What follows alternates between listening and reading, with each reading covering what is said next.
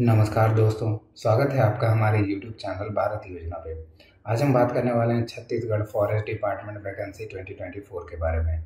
तो आप यहाँ कब से कब तक अप्लाई कर पाएँगे? टोटल वैकेंसी यहाँ कितना रखा गया है? क्वालिफिकेशन क्या क्या मांगा गया है? वो सब हम एक एक करके आपको यहाँ पर बताएँगे। ये है इसका नोटिफिकेशन ये शॉर्ट नोटिस निकाला गया वन रक्षक के पद पर सीधी भर्ती हेतु विज्ञापन। तो यहाँ जो है आपका डेट बताया गया, ये फॉर्म जो है आपका 12 जून से स्टार्ट हो चुका है और लास्ट डेट जो है एक जुलाई तक रहेगा।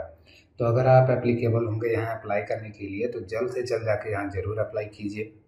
यहाँ से आप टोटल नंबर ऑफ़ वैकेंसी देख सकते हैं, चौदह सौ चौरासी रिक्त पदों के लिए यहाँ निकाला गया है। शैक्षणिक आहारता जो है यहाँ पे अभ्यर्थी का किसी मान्यता प्राप्त मंडल से higher secondary education ten plus two आपको पास किया हुआ होना चाहिए। आयु सीमा जो है यहाँ कम से कम आपका अठारह साल होना चाहिए और ज़्यादा से ज़्यादा यहाँ चालीस साल रखा गया है। इससे ज़्यादा एज आपका नहीं होना चाहिए। यहाँ पे एज में आपको छूट भी मिलेगा। यदि अभ्यर्थी अनुसूचित, जाति अनुसूचित, जनजाति या अन्य पिछड़ा वर्ग, क्रीमी लेयर के उच्चतर आयु सीमा में अधिकतर पाँच वर्ष का आपको छूट दिया जाएगा। छत्तीसगढ़ सिविल सेवा के लिए जो है यहाँ पे दस साल तक का एज में छूट दिया गया है। यहाँ आपका वेतन मैट्रिक्स लेवल बताया गया है तो प्रथम वर्ष पहला साल जो है आपका यहाँ पे टोटल तीन साल का यहाँ रखा गया है तो पहला साल में आपको उन्नीस हज़ार पाँच सौ रुपया मिलेगा, दूसरे साल में उन्नीस हज़ार पाँच सौ तीसरे साल में भी उन्नीस हज़ार पाँच सौ मिलेगा।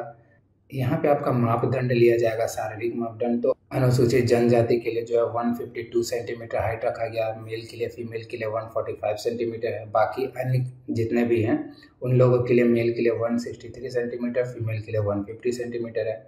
सीना जो है यहाँ पे 79 सेंटीमीटर रखा गया, न्यूनतम कम से कम और फुलाने पे और पाँच सेंटीमीटर ज़्यादा होना चाहिए। चयन प्रक्रिया जो यहाँ आपका एग्ज़ाम लिया जाएगा, सौ अंकों का होगा, शारीरिक दक्षता परीक्षा टेस्ट लिया जाएगा 200 मीटर का दौड़ होगा, पच्चीस अंक का 800 मीटर का दौड़ होगा, पच्चीस अंक, लंबी कूद, पच्चीस अंक, गोला फेंक, पच्चीस अंक का होगा।